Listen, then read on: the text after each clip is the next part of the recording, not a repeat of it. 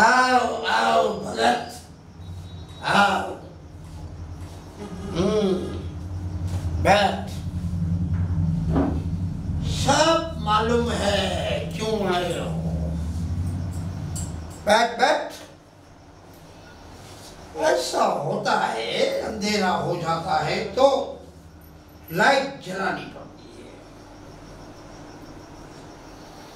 और उसे बुलाना है तो एक फ़ोन करना पड़ता है। हम्म। बताओ आगे बताओ।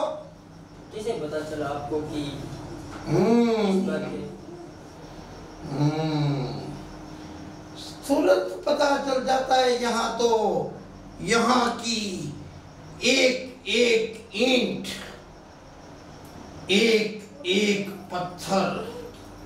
और उसकी एक एक सांस को जब वो चलती है तो राजा बाबू को पता रहता है कि क्या हो रहा है। जैसे ही तुम वहाँ से निकला तो तुरंत मुझे पता चला कि क्या हुआ है।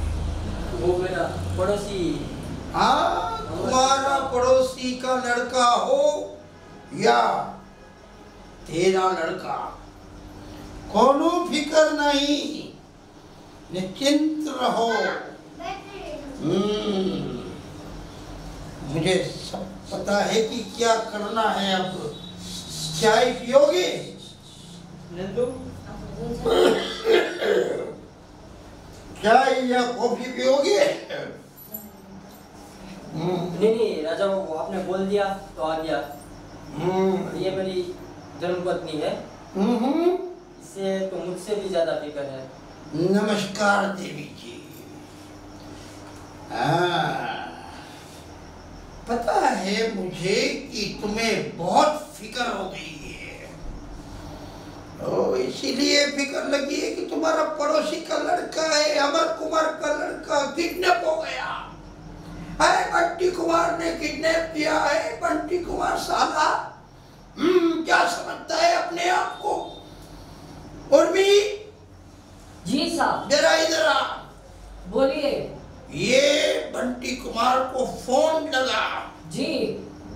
दस मिनट दे साले को। जी। और उसको बोल कि राजा बाबू हम्म। खड़े हैं बैठे भी नहीं है। हाँ। हम्म, सिर्फ़ दस मिनट दे। हम बात नहीं करेंगे। जी। और हम्म। उसे फ़ोन कर। बता दे। दस मिनट में उसको छोड़ दे। अमर कुमार के लड़के को। हम्म, करो। उर्मी हम्म, सिर्फ़ दस मिनट। राजा बाबू यहीं बैठे हैं। नहीं खड़े हैं। और अंधेरा हो जाता है तो अंधेरा हो जाता है तो लाइट जलाना पड़ता है। वैसे ही। तेरे को एक ही फ़ोन काफ़ी है। एक ही फ़ोन तेरे लिए काफ़ी है। सिर्फ़ दस मिनट में पड़ोसी के लड़के को छोड़ दो। कितना?